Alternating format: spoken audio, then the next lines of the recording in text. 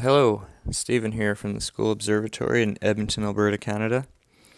In this video, I'm going to quickly go over about running a laptop in the field for doing astrophotography. First off, you don't necessarily have to have a laptop for doing astrophotography. If you're just doing your basic DSLR astrophotography unguided, then all you need is your camera and maybe a remote shutter if you want to automate your session so you don't have to sit there and hit your button and hold it, count for five minutes or however long you want your exposures and do the next one, go on eBay, look up DSLR intervalometer, and you can get one of these. These you just pretty much program it to say, all right, I want, give me a 10 second delay, and I want my exposures to be 30 seconds long and I want them to be shot every 60 seconds to give the camera time to load each exposure. And I want 20 of them. So you program all that into this little thing and you pretty much hit start, walk away, and it automates it all for you. So all that's done without a laptop.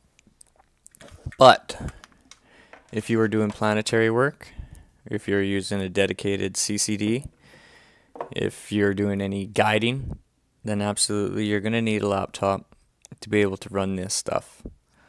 Obviously, right? So, this is what I have out in the field with me for power. This is basically your booster box for a car.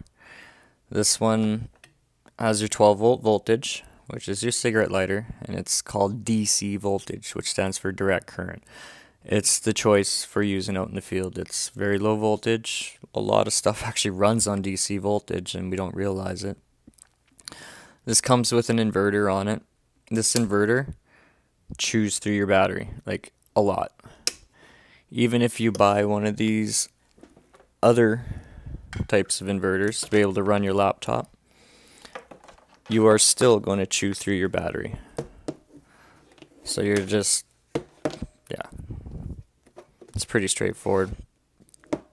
What this is doing is it's taking your whole 12 volt voltage, upgrading it to this one has an output of 115 volts AC.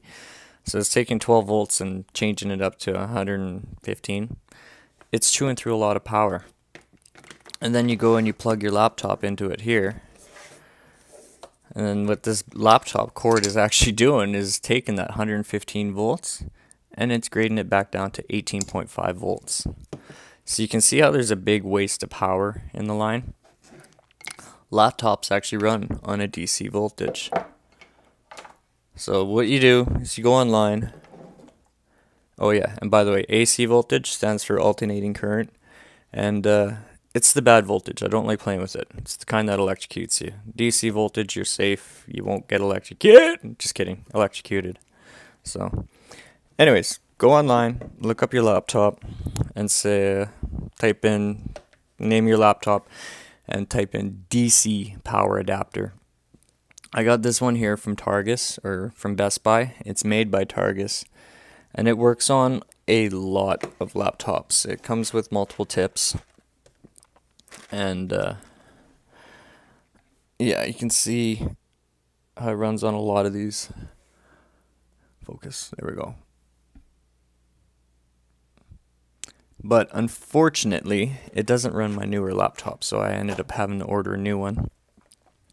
If you read on it and you read your laptop, you want to figure out the wattage that your lapper is going to need.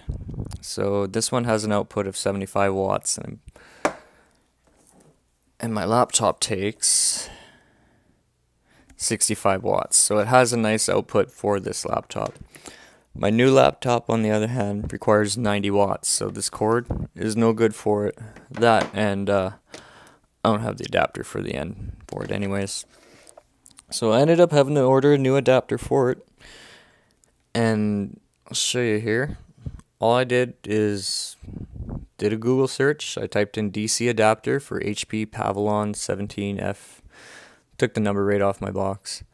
And uh, just Googled it and this is the one I found here.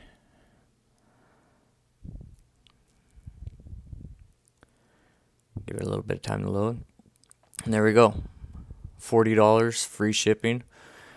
and you have an output power of 45 watts, 65 watts, and 90 watts, which is perfect for my laptop. This is actually made for my newer laptop, so $40 is a lot cheaper than spending the hundred of dollars on one of these inverters. And to top it off, you're not wasting power. So hopefully this clears things up for a lot of people and saves them some power out in the field so they can get a few more images put in. If you do have any questions, feel free to email me. All right? Thanks for watching.